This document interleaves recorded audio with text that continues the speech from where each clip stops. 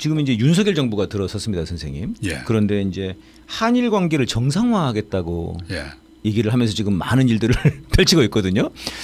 어, 한일 관계를 정상화한다. 그 전에는 비정상이라는 얘기인 거죠, 이 사람 입장에서는요. 그러니까 네네. 그 뭐 그전 정권을 말할 것도 없고 네, 그 이제 이명박 박근혜 네, 그다음 이제 윤석열 음, 이세 대통령을 보면은 네, 지금 젊은 사람들은 잘 모르, 모르실지 모르는데 자꾸 뭐 그 한일 관계가 뭐 정상화해야 되고 한데 노무현 문재인 때도 이 한일 관계 아무 문제가 없었어요. 네, 뭐 무역 뭐 무슨 물건 뭐 일본에서 뭐 수출 안 한다 뭐 그런 그 아주 사소한 음, 그런 건 있었지만은 그거 있다고 우리가 여행을 못 했습니까? 수출 못 했습니까? 수입을 못 했습니까? 항공교류 못 했습니까? 예. 뭐 세미나를 왔다 갔다 못 했습니까? 못한 게 뭐 있어요? 음, 그럼 정상화라는 건 뭐예요? 한 나라가 한 다른 국가와 평등하게 호혜의 원칙에서 장사 다 하고 교육 다 하고 관광 다 하고 문화 교류 다 하고 음, 그럼 정상화 아닙니까? 그렇죠. 아니 뭐 마치 뭐 아니 노무현 정권 때 뭐 일본 여행이라도 못 간 것처럼 뭐 여행 못 갔어요.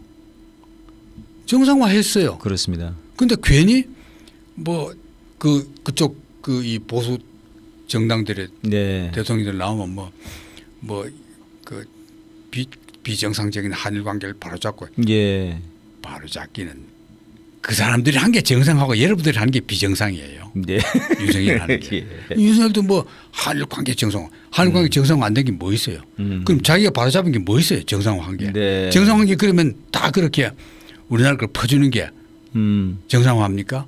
네. 그러니까 정상화는 뜻도 모르는 것 같아요. 아, 예. 지난번 뭐 그제 기자회견에서 예, 응? 그 그 대국민 담화 말씀하시는 거죠? 네. 담화가 아니라 뭐그 담화 뭐 이렇게 얘기를 하는. 기자회견 한게 저희들은. 있잖아요. 그 네네. 뭐그 뭐 그 그 뭐죠? 뭐 모독했다 뭐 그런 말 하는 거 보고랑 음, 뭐가 뭐면은 뭐 국어 사진 바꿔야 된다. 네, 네, 진짜 그렇게 얘기를 했죠. 국어 사진 바꿔야 될 사람은 네, 윤석열 대통령 자신이야. 예, 어.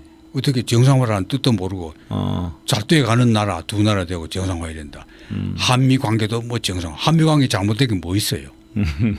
한미 관계가 뭐 민주당 집권 때 뭐 한미 관계 뭐 안보 파탄 났습니까? 음, 훈련할 거 다 하고 다 했어요. 남북 관계도 좋고. 네, 근데 뭐 자기들이 마치 뭐 정상화 한 것처럼.